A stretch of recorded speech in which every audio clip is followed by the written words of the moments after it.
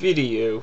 Billy Stark has finally fallen on his sword, thanks to James Rynkiewicz's victory at Grand Prix Providence, a genuine Legacy Grand Prix won by a genuine Legacy player. I'd like to give James Rynkiewicz a round of applause.